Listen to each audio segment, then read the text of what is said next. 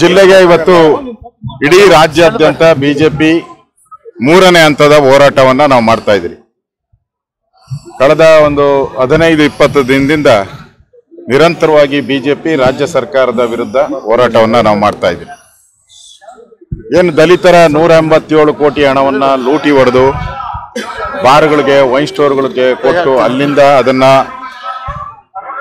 Block ಆಗಿ ಹಣವನ್ನ ತೆಗೆದುಕೊಂಡಿರುವಂಥದ್ದು.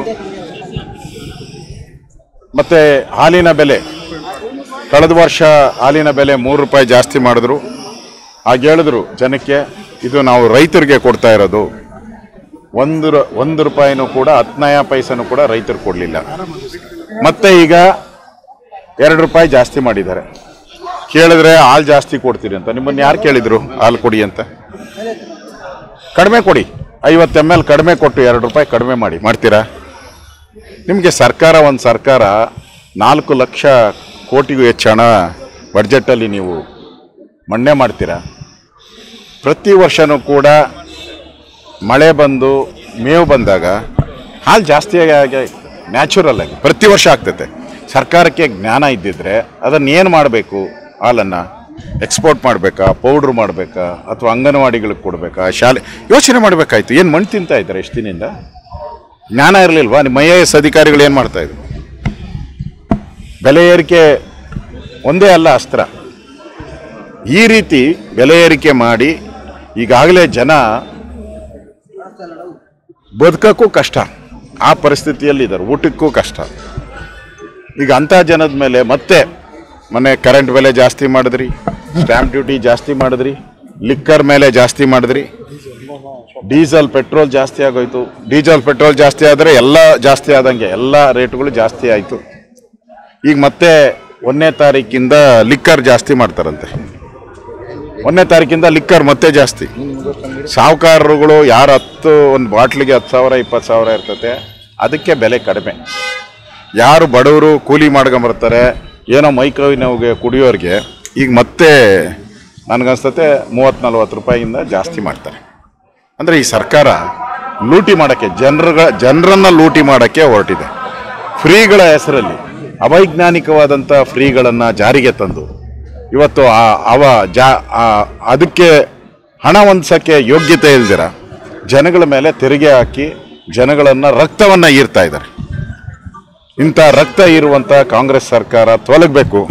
ಇದರ ವಿರುದ್ಧ ಸಿದ್ದರಾಮಯ್ಯನವರು, ಡಿ ಕೆ ಶಿವಕುಮಾರ್ ಅವರು ಏನು ಹೊರಟಿದ್ದಾರೆ. ಲೂಟಿ ಮಾಡೋಕ್ಕೆ. ಇದರ ವಿರುದ್ಧ ನಾವು ಹೋರಾಟವನ್ನು ನಾವು ಮಾಡ್ತಾ ಇದ್ರಿ. ಅದೇ ರೀತಿ ನೂರ ಎಂಬತ್ತೇಳು ಕೋಟಿ ರೂಪಾಯಿ ಹಣ ಏನು ಅವ್ಯವಹಾರ ಆಗಿದೆ. ಲೂಟಿ ಆಗಿದೆ. ಅದರಲ್ಲಿ ನಾಗೇಂದ್ರ ಪಾಲು ಇಪ್ಪತ್ತೇ ಪರ್ಸೆಂಟ್ ಪಾಪ. ಎಂಬತ್ತು ಪರ್ಸೆಂಟ್ ಲೂಟಿ ಹೊಡೆದಿರೋರು ಇವರು, ಸಿದ್ದರಾಮಯ್ಯ ಆ್ಯಂಡ್ ಗ್ಯಾಂಗು. ನಾವು ಅದಕ್ಕೆ ವಿಧಾನಸಭೆಯಲ್ಲಿ ಸಿದ್ದರಾಮಯ್ಯನವರ ರಾಜೀನಾಮೆಗೆ ಪಟ್ಟಿಡಿದು ಹೋರಾಟವನ್ನು ನಾವು ಮಾಡೋರಿದ್ದೀರಿ. ಯಾವುದೇ ಕಾರಣಕ್ಕೂ ನಿಲ್ಲಿಸಲ್ಲ ನಮ್ಮ ಹೋರಾಟ ಮುಂದುವರಿಯುತ್ತೆ. ಏನೋ ಒಂದು ವಿಕೆಟ್ ಬಿದ್ದಿದೆ ಅಂತಲ್ಲ, ಇನ್ನೊಂದು ವಿಕೆಟು ಬೀಳಬೇಕು. ಇನ್ನೂ ಮೂರ್ನಾಲ್ಕು ವಿಕೆಟ್ ಬೀಳೋದಿದೆ ಈ ಸರ್ಕಾರದಲ್ಲಿ. ಅಂದರೆ ಜನಕ್ಕೆ ಅರ್ಥ ಆಗ್ಬಿಟ್ಟಿದೆ, ಇದೊಂದು ಭ್ರಷ್ಟ ಸರ್ಕಾರ. ಎರಡು ಸಾವಿರ ರೂಪಾಯಿ ಅಂತೇಳಿ ನಮ್ಮನ್ನು ಲೂಟಿ ಹೊಡಿತಾ ಇದ್ದಾರೆ ಅಂತೇಳಿ ಅರ್ಥ ಆಗಿದೆ. ಇದಲ್ದಿರ ಇಡೀ ರಾಜ್ಯದಲ್ಲಿ ಕಾಲರ ವ್ಯಾಪಿಸ್ತಾ ಇದೆ. ಕುಡಿಯೋ ನೀರು, ಕುಲುಷಿತ ನೀರು ಕೊಟ್ಟು ರಾಜ್ಯದಲ್ಲಿ ಎಲ್ಲ ಕಡೆನೂ ಮೂಲೆ ಮೂಲೆಗಳಲ್ಲೂ ಪ್ರತಿದಿನ ಮೂರು ನಾಲ್ಕು ಜನ ಸಾಯ್ತಾ ಇದ್ದಾರೆ. ಈ ಸರ್ಕಾರಕ್ಕೆ ಜ್ಞಾನನೇ ಇಲ್ಲ. ಈ ಸರ್ಕಾರಕ್ಕೆ ಏನು ಅನ್ಸೇ ಇಲ್ಲ. ಡೆಂಗ್ಯೂ ಬಂದು ಸುಮಾರು ಮೂರು ಸಾವಿರಕ್ಕೂ ಹೆಚ್ಚು ಡೆಂಗ್ಯೂ ಪ್ರಕರಣಗಳು ಬಂದಿದೆ. ಡೆಂಗ್ಯೂ ಜ್ವರ ಅನ್ನೋದು ಬಹಳ ದೊಡ್ಡದಾದಂಥ ಒಂದು ಕಾಯಿಲೆ. ಅದನ್ನು ಟ್ರೀಟ್ಮೆಂಟ್ ಮಾಡಬೇಕಾದ್ರೆ ಲಕ್ಷಾಂತರ ರೂಪಾಯಿ ದುಡ್ಡು ಬೇಕು. ಇವತ್ತು ಬಡವರು ಕಣ್ಣೀರಲ್ಲಿ ಕೈ ತೊಳಿತಾ ಇದ್ದಾರೆ. ಈ ಸರ್ಕಾರ ಕುಡಿಯೋ ನೀರು ಕೊಡೋಕ್ಕೂ ಯೋಗ್ಯತೆ ಇಲ್ಲ, ಅವ್ರ ಹತ್ರ ಹಣ ಇಲ್ಲ. ಪಾಪರ್ ಔಟ್ ಇದೆ. ಎಂಟೈರ್ ಸರ್ಕಾರ ಪಾಪರ್ ಆಗಿ ದಿವಾಳಿಯಾಗಿದೆ. ಅದಕ್ಕೋಸ್ಕರ ಜನಗಳ ಮೇಲೆ ತೆರಿಗೆ ಹಾಕಿ ರಕ್ತವನ್ನು ಇರ್ತಾ ಇರೋ ಈ ಕಾಂಗ್ರೆಸ್ ವಿರುದ್ಧವಾದಂಥ ಹೋರಾಟವನ್ನು ಇವತ್ತು ಕೋಲಾರದಲ್ಲಿ ನಾನು ನಾನು ಮಾ ಬಂದು ಮಾಡಿದ್ದೀನಿ. ಇಡೀ ರಾಜ್ಯದಲ್ಲಿ ಹೋರಾಟವನ್ನು ಮುಂದುವರಿಸ್ತೀನಿ. ಸಿಎಂ ಬದಲಾವಣೆ ವಿಚಾರ ಏನು ಸಿ ಎಂ ಎಕ್ಸ್ಪೈರಿ ಆಗಿದೆ ಈಗ. ಡಿ ಕೆ ಶಿವಕುಮಾರ್ ಅವರು ಮೊನ್ನೆ ಯಾವಾಗ ಅವರ ತಮ್ಮ ಸೋತೋದ ಸೋಲ್ಸಿದ್ದು ಸಿದ್ದರಾಮಯ್ಯನವರು ಹೇಗೆ ಪರಮೇಶ್ವರನ್ನ ಸೋಲಿಸಿದ್ರು? ಪರಮೇಶ್ವರ್ ಬಂದರೆ ನನ್ನ ಮುಖ್ಯಮಂತ್ರಿಗೆ ತೊಂದರೆ ಆಗುತ್ತೆ ಅಂತ ಹಿಂದೆ ಸೋಲಿಸಿದ್ರು. ಅವರು ಹಿಂದೆ ಸರಿದ್ರು. ಈಗ ಅವ್ರನ್ನೇನು ಸೋತಿಲ್ಲ. ಈಗ ಡಿ ಕೆ ಶಿವಕುಮಾರ್ ಅವರು ದಿನನಿತ್ಯ ಕಾಟ ಸಿದ್ದರಾಮಯ್ಯನವ್ರಿಗೆ. ದಿನನಿತ್ಯ ರಾಯ ಮಂತ್ರಿ, ಮುಖ್ಯಮಂತ್ರಿ ಮಾಡುವಂತ. ಅದಕ್ಕೆ ಅವ್ರ ತಮ್ಮನ್ನೇ ಸೋಲ್ಸ್ಬಿಟ್ರೆ, ಇವ್ರ ಕಾಟ ಇಬ್ಬರು ಕಾಟ ತಪ್ಪತೈತೆ ಅಂತೇಳಿ ಅವ್ರ ತಮ್ಮನ್ನ ಸೋತೋದು ಸೊ ಈಗ ಡಿ ಕೆ ಶಿವಕುಮಾರ್ ಅವ್ರದೇ ರಾಜಕೀಯ ಗಾಳವನ್ನು ಊಡಿಸಿದ್ದಾರೆ. ಅವ್ರದ್ದೊಂದು ಚದುರಂಗ ಆಟ ಅವರು ರಾಜಕಾರಣಿ ಅಲ್ಲ. ಕಾಂಗ್ರೆಸ್ ಹಳೆ ರಾಜಕಾರಣಿ, ಇವರು ಹೊಸ ರಾಜಕಾರಣಿ ಕಾಂಗ್ರೆಸ್ಗೆ. ಅವರು ಚದುರಂಗ ಆಟ ಆಡ್ತಾ ಇದ್ದಾರೆ ಅವರು ಸ್ವಾಮೀಜಿ ಕೈಲಿ ನಿಮ್ಮ ಸಾಕಪ್ಪ ಒಂದು ಆರು ವರ್ಷ ಆಗೋಗ್ಬಿಟ್ಟೈತೆ ನಿನ್ನ ಧರ್ಮಾತ್ಮನ ಆಗಿದ್ದರೆ ಅಂದರೆ ಇವಾಗ ಸಿದ್ದರಾಮಯ್ಯನ ಪಾಪಿನ. ಸಿದ್ದರಾಮಯ್ಯ ಪಾಪಿನ ಅಂತ. ಧರ್ಮಾತ್ಮನ ಆಗಿದ್ದರೆ ನೀನು ರಾಜೀನಾಮೆ ಕೊಟ್ಟು ಡಿ ಕೆ ಶಿವಕುಮಾರ್ ಅವರು ಮಾಡುವಂಥ ಸ್ವಾಮೀಜಿ ಕೈಲಿ ಹೇಳ್ಸಿದ್ದಾರೆ ಅಂದರೆ, ಇದೆಲ್ಲ ಸೂತ್ರಧಾರ ಯಾರು ಅಂತ ಇಡೀ ರಾಜ್ಯಕ್ಕೆ ಗೊತ್ತಾಗಿದೆ. ಅದರಿಂದ ಕಾಂಗ್ರೆಸ್ ಒಂದು ರೀತಿ ಇನ್ನೊಂದು ಕಡೆ ಮೂರು ಡಿ ಮೂರು ಡಿ ಸಿ ಎಂ ಮಾಡಿ ಅಂತ ಗೊಂದಲ ಅದು, ದಿನನಿತ್ಯ. ಇನ್ನು ಕೆಲವರು ಮೂರು ಬೇಡ ಮಾಡಂಗಿದ್ರೆ ಐದು ಮಾಡಿ ಅಂದರು. ಇನ್ನೊಬ್ಬರು ಯಾರೋ ಮುಂದೆ ಹೊಟ್ಟು ಎಲ್ಲರನ್ನೂ ಡಿ ಸಿ ಎಂ ಮಾಡಿಬಿಡಿ, ಮೂವತ್ತೆರಡು ಜನನೂ ಡಿ ಸಿ ಎಂ ಮಾಡಿ ಅಂತ. ಅಂದರೆ ಕರ, ಕರ್ನಾಟಕ ಜನನ ಲೂಟಿ ಮಾಡೋಕ್ಕೆ. ಲೂಟಿ ಮಾಡೋಕ್ಕೆ ಎಲ್ಲರೂ ಡಿ ಸಿ ಎಂ ಆಗಿ ಲೂಟಿ ಮಾಡೋಕ್ಕೆ ಹೊರಟಿದ್ದಾರೆ. ಅದರಿಂದ ಈ ಸರ್ಕಾರ ಗೊಂದಲದಲ್ಲಿದೆ. ಈ ಸರ್ಕಾರ ನನಗನ್ಸ್ತೈತೆ ನಾವು ಹೇಳ್ತಾ ಇದ್ರಿ ಭಾಳ ದಿನ ಉಳಿಯಲ್ಲ ಅಂತ. ನನಗನ್ಸ್ತತೆ ಇವರ ಪಾಪದಿಂದ ಇವರ ಪಾಪದಿಂದ ಇವರ ಎಂ ಎಲ್ ಎಗಳ ಶಾಪದಿಂದನೇ ಈ ಸರ್ಕಾರ ಬಿದ್ದೋಗ್ತದೆ. ಸರ್ ಲೋಕಸಭಾ ಚುನಾವಣೆ ಮುಗಿದ ಒಂದು ತಿಂಗಳಲ್ಲಿ ಸರ್ಕಾರ ಹೋಗುತ್ತೆ ಅಂತ ಹೇಳಿದ್ರಿ ಮಹಾರಾಷ್ಟ್ರ ಮಾದರಿಯಲ್ಲಿ ಆಗುತ್ತೆ ಅಂತ ಹೇಳಿದ್ರಿ ಸರ್.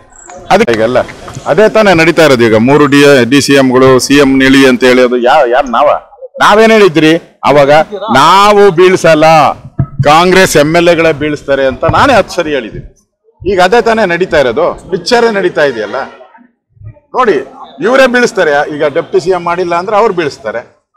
ಸಿ ಎಂ ಮಾಡಿಲ್ಲ ಅಂದ್ರೆ ಡಿ ಕೆ ಶಿವಕುಮಾರ್ ಬೀಳಿಸ್ತಾರೆ. ಅಷ್ಟೇ.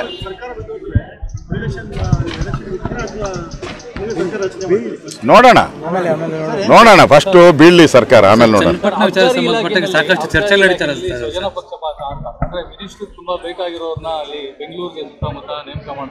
ನೋಡಿ ಎಲ್ಲ ಅಬ್ಕಾರಿ ಇರ್ಬೋದು ಎಲ್ಲ ಇಲಾಖೆಯಲ್ಲೂ ಇದೇ ನಡೀತಾ ಇರೋದು. ಈಗ ಮತ್ತೆ ಟ್ರಾನ್ಸ್ಫರ್ ದಂಧೆ ಶುರುವಾಗಿದೆ. ಮತ್ತೆ ಪರ್ಮಿಷನ್ ಕೊಟ್ಟಿದ್ದಾರೆ. ಇನ್ನು ಅದೇ ಕೆಲಸ. ಲೂಟಿ ಲೂಟಿಗೋಸ್ಕರ. ಹಾಂ ಮಾಡೇ ಮಾಡ್ತಾರೆ. ಮಾಡಿದ್ದಾರೆ. ಹಾಂ. ಪ ಸ್ವಜನ ಪಕ್ಷಪಾತ ಅಂದರೆ ಕಾಂಗ್ರೆಸ್ಸು. ಕಾಂಗ್ರೆಸ್ ಅಂದರೆ ಸ್ವಜನ ಪಕ್ಷ. ಯಾಕಂದ್ರೆ ಅವರ ಮೇನ್ ಲೀಡ್ರೇ ಸೋನಿಯಾ ಗಾಂಧಿ ರಾಹುಲ್ ಗಾಂಧಿ ಅವ್ರದೇ ಅವ್ರ ಕುಟುಂಬ ತಾನೇ. ಇಲ್ಲೂ ಹಂಗೆ ಅವ್ರ ಜಾತಿ ಅವ್ರ ಸಮುದಾಯನೇ ಮಾಡ್ತಾ ಇದ್ದಾರೆ ಇದು ರಾಜ್ಯಕ್ಕೆ ಒಳ್ಳೇದಲ್ಲ.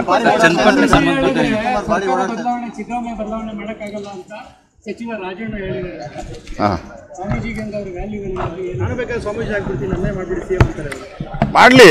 ಈಗ ಅವ್ರನ್ನ ಸ್ವಾಮೀಜಿನ ಹೋಗಿ ಇವರು ಮಂತ್ರಿಗಳು ಹೋಗಿ ಕೇಳಲಿ ಅವ್ರನ್ನ. ಸ್ವಾಮೀಜಿ ನಾನೇ ಈ ಪೀಠಕ್ಕೆ ಬರ್ತೀನಿ. ಯಾ ಯಾಕೆಂದರೆ ಸ್ವಾಮೀಜಿಯವರು ಮುಖ್ಯಮಂತ್ರಿ ಮುಂದೆ ಕೇಳಿರೋದು. ಮುಖ್ಯಮಂತ್ರಿ ಹಿಂದೆ ಕೇಳಿಲ್ಲ ಅವರು. ಬೆನ್ನಿಂದೆ ಮಾತಾಡಿಲ್ಲ. ವೇದಿಕೆಯಲ್ಲೇ ಎದುರೆದುರು ಕೇಳಿದ್ದಾರೆ.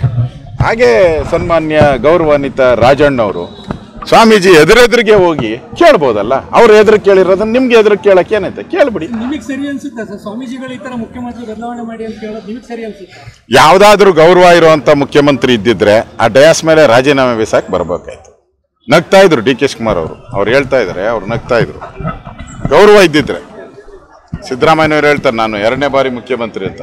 ಗೌರವ ಇದ್ದಿದ್ರೆ ರಾಜೀನಾಮೆ ಕೊಡಬೇಕಾಯ್ತು.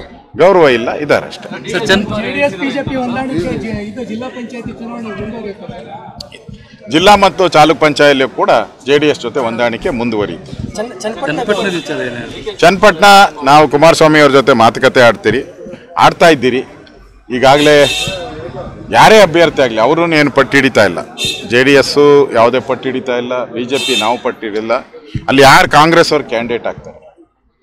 ಡಿ ಕೆ ಶಿವಕುಮಾರ್ ಅವರ ಕುಟುಂಬದವ್ರು ಆಗ್ತಾರೋ ಅಥವಾ ಕಾರ್ಯಕರ್ತರು ಆಗ್ತಾರೋ? ಅದ್ರ ಮೇಲೆ ನಮ್ದೆಲ್ಲ ರಾಜಕೀಯ ಚದುರಂಗ ನಡೀತೈತೆ. ರಾಜಕೀಯದ ದೊಡ್ಡ ಹೋರಾಟನೇ ಕೂಡ ಚನ್ನಪಟ್ಟಣದಲ್ಲಿ ನಡೆಯೋದಿದೆ. ಅದೇನು? ಅಲ್ಲ ಹಂಡ್ರೆಡ್ ಪರ್ಸೆಂಟ್ ಅವೆಲ್ಲ ಡಿ ಕೆ ಕುಮಾರ್ ಅವರ ಕುತಂತ್ರ ಅಷ್ಟೇ. ಅಲ್ಲ ಸರ್ ಜನರ ಋಣ ತೀರ್ಸೋದಕ್ಕೆ ನಾನು ಬರ್ತಾ ಇದ್ದೀನಿ ಅಂದ್ಕೊಂಡು ಹೇಳಿದ್ದಾರೆ ಸರ್? ಮನೆ ಎರಡು ಮೂರು ಸಲ ಋಣ ತೀರ್ಸಕ್ ಹೋಗಿ ಅದೇನೋ ಕೂಲಿ ಕೇಳಿದ್ರಲ್ಲಪ್ಪ? ಬೆಂಗಳೂರು ಗ್ರಾಮಾಂತರದಲ್ಲಿ ನಾವು ಕೂಲಿ ಮಾಡಿದ್ರಿ ಕೂಲಿ ಕೊಡಿ. ಕೊಟ್ರಲ್ಲ ಜನ? ಕೂಲಿ ಕೊಟ್ರ? ಹಂಗೆ ಹಾಂ ಕೆಲಸ ಮಾಡಿ ಕೂಲಿ ಕೊಡಿ. ಇಲ್ಲೂ ಅಷ್ಟೇ. ನಾನು ಋಣ ತೀರ್ಸಕ್ ಬರ್ತೀನಿ ಅಂದ್ರೆ ಜನ ಅವ್ರ ಋಣ ತೀರ್ಸ್ಕೊಂತಾರೆ. ಯಾಕಂದ್ರೆ ಈಗೆಲ್ಲ ಬೆಲೆ ಏರಿಕೆ ಮಾಡಿದ್ರಲ್ಲ. ಬೆಲೆ ಏರಿಕೆ ಮಾಡಿ ನಮ್ಮನ್ನೆಲ್ಲ ಸರ್ವನಾಶ ಮಾಡಿದ್ಯಾ? ಅಂತ ಹೇಳ್ತಾರೆ ಅಜೆಂಡಾ ನೂರ ಎಂಬತ್ತೇಳು ಕೋಟಿದು ಒಂದು, ಬೆಲೆ ಏರಿಕೆದು ಮತ್ತು ಇಡೀ ರಾಜ್ಯದಲ್ಲಿ ಕಾಲ್ರ ಮತ್ತು ಡೆಂಗ್ಯೂ ಬಂದಿರೋವಂಥದ್ದು ಮತ್ತು ಕುಡಿಯೋ ನೀರಿಗೆ ಆಹಾಕಾರ ಎಲ್ಲ ಕಡೆ ಬಂದಿರೋದು, ಮತ್ತು ರೈತರ ಬೀಜ ಏನು ಕೊಡಬೇಕಾಯಿತು, ಅದರ ಬೆಲೆ, ಬಿತ್ತನೆ ಬೀಜವನ್ನು ಬೆಲೆ ಏರಿಕೆ ಮಾಡಿರು. ಜಾಸ್ತಿ ಇದೆ ಈ ಸರಿ. ನಮಗೇನು ಹತ್ತು ದಿನ ಸಾಕಾಗಲ್ಲ. ಅಷ್ಟು ಅಜೆಂಡಾಗಳು ಇದಿದೆ. ನಾನು ಜೆ ಡಿ ಎಸ್ನ ನಾಯಕರ ಜೊತೆ ಮೀಟಿಂಗ್ ಮಾಡೋನಿದ್ದೀನಿ ಅವ್ರನ್ನೂ ಕರೆದು ಮಾತಾಡಿ, ಒಟ್ಟಾಗಿ ಈ ಸರಿ ವಿಧಾನಸಭೆ ಅಧಿವೇಶನದಲ್ಲಿ ಕಾಂಗ್ರೆಸ್ಗೆ ಒಂದು ರೀತಿ ಚುರುಕು ಮುಟ್ಟಿಸುವಂಥ ಕೆಲಸವನ್ನು ನಾವು ಮಾಡ್ತೀವಿ ಸರ್, ವಾಲ್ಮೀಕಿ